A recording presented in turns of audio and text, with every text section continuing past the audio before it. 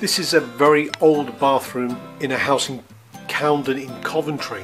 The client has requested that we change it from this bathroom to a shower room. At the moment there's an electric shower over the bath. The ceiling has some damp in it.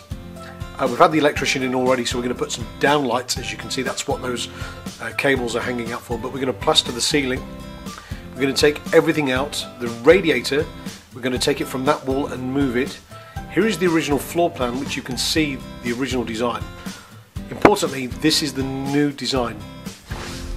By moving the basin to the end of the shower, you can free up some room space and then by moving the radiator from under the window wall and placing it on a taller wall, you can get a much warmer towel radiator. Here are the stages of the bathroom. The beginning,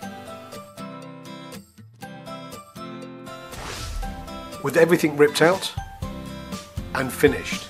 And this is what the bathroom looks like now it's completed.